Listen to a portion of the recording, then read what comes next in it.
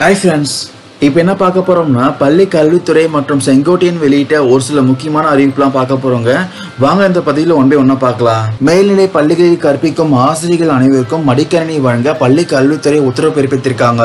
அரசு மேல்நிலை பள்ளிகளில் பணிபுரியும் ஆசிரியர்கள் புதிய பாடத்திட்டத்தின்படி தொழில்நுட்பத்துடன் கூடிய பாடப்புத்தகம் மற்றும் பாடப்புத்தகத்தில் உள்ள கியூஆர் கோடினை பயன்படுத்தி கற்பித்தலை சிறப்பாக்கி விடவும் இணையதளத்தின் பயன்பாட்டை மாணவர்களுக்கு கற்பிக்கவும் பதினொன்று மற்றும் பன்னெண்டாம் வகுப்பு கற்பிக்கும் ஆசிரியர்களின் பயன்பாட்டிற்காக மடிக்கணினிகள் வழங்க பள்ளி கல்வித்துறை உத்தரவு பிறப்பித்திருக்காங்க. ஆசிரியர்கள் மடிக்கணினிகளை மாணவர்களுக்கு கற்பித்தலுக்காக மட்டுமே பயன்படுத்த வேணும் தெரிவிச்சிருக்காங்க. அடுத்த தகவல் என்னன்னா விளையாட்டு வீரர்களுக்கு வேலை வாய்ப்புகளை வழங்க நடவடிக்கை எடுக்கப்பட்டு வருவதாக பள்ளி கல்வித்துறை அமைச்சர் செங்கோட்டையன் தெரிவித்துள்ளார். இதற்காக இருநூத்தி அறுபத்தி ஏழு அரசு பள்ளிகளில் அஞ்சு ஏக்கருக்கும் அதிகமாக இடங்கள் இருப்பது கண்டறியப்பட்டிருக்கு சொல்றாருங்க. அந்த இடங்களை பயன்படுத்தி விளையாட்டு மைதானம் அமைக்கப்படும் தெரிவிச்சிருக்காருங்க. அடுத்த தகவல் என்னன்னா மாணவர்களுக்கு மடிக்கணினி வழங்கும் திட்டம் மூணு கட்டமாக செயல்படுத்தப்படும் என அமைச்சர் செங்கோட்டையன் தெரிவித்துள்ளாருங்க. மேலும் என்ன தெரிவிச்சிருக்காருன்னா தமிழ் கலை பண்பாடு துறை தொடர்பான புதிய அறிவிப்புகளாம் வெளியாகும் என தெரிவிச்சிருக்காருங்க.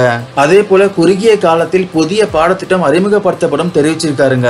அரசு பள்ளிகளில் ஆசிரியர்கள் தட்டுப்பாடு இல்லை தெரிவிச்சிருக்காருங்க அமைச்சர் செங்கோட்டையன். பதினொன்னு மற்றும் பன்னெண்டாம் வகுப்புகளுக்கு பாடம் நடத்த ஆசிரியர்கள் இல்லை என்ற மாணவி அளித்த புகாருக்கு அமைச்சர் செங்கோட்டை மறுப்பு தெரிவிச்சிருக்காருங்க.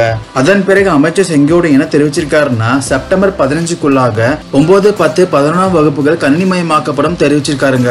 மேலும் என தெரிவிச்சிருக்காருன்னா இதுவரை ஐம்பத்தி நாலு லட்சத்தி அறுபத்தி ரெண்டாயிரம் அடிக்கணிகள் வழங்கப்பட்டிருக்கான். மூன்று ஆண்டுகள் அவகாசம் இருந்தும் இரண்டே ஆண்டில் புதிய பாடத்திட்டங்கள் உருவாக்கப்பட்டிருக்கான். ரெண்டாயிரத்தி பதினேழு பதினெட்டு கல்வியாண்டில் படித்து முடித்த மாணவர்களுக்கு மூணு மாதங்களுக்குள் மடிக்கணினி வழங்கப்படும் தெரிவிச்சிருக்காருங்க. மாணவர்கள் ஆங்கிலத்தில் புலமை பெற ரெண்டாயிரம் சொற்தொடர்கள் கொண்ட மென்பொருள் வழங்கப்பட உள்ளதுங்க. தமிழகத்தில் தற்போதுள்ள பிளஸ் டூ வகுப்பிற்கான பாடத்திட்டத்தின்படி நீட் தேர்வு மட்டுமல்லாது அனைத்து தேர்வுகளையும் எதிர்கொள்ள முடியும் தெரிவிச்சிருக்காருங்க. அடுத்த தகவல் என்னன்னா அங்கன்வாடி மையங்களில் பணியாற்றுவது கௌரவ குறைச்சலா கருதுகிறீர்களா? அப்படின்னு அரசு பள்ளி ஆசிரியர்களுக்கு உயர்நீதிமன்ற நீதிபதிகளாம் கேள்வி எழுப்பியிருக்காங்க. சமீப காலமாக அரசின் முடிவுகளை எதிர்த்து வழக்கு தொடர்வதை ஆசிரியர்கள் வாடிக்கையாக கொண்டுள்ளனர் என நீதிமன்றம் தெரிவித்துள்ளதுங்க.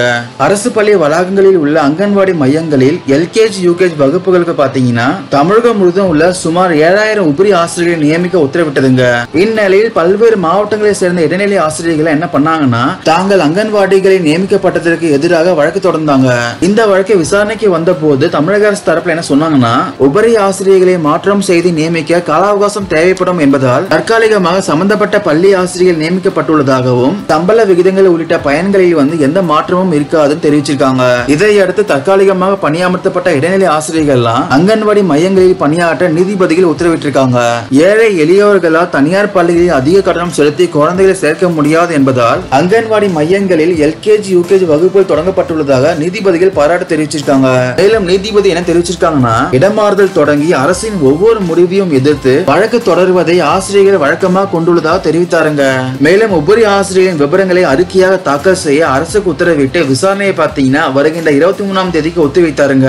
சோ பள்ளி கல்வித்துறையிலிருந்து வெளிவந்த இந்த தகவலாம் பயனுள்ளதாக இருக்கும்னு நினைக்கிறேன். இது பற்றி உங்களுடைய கருத்துக்கள் ஏதாச்சும் இருந்துச்சுன்னா கமெண்ட் செக்ஷனில் பதிவு பண்ணுங்க. Thank you friends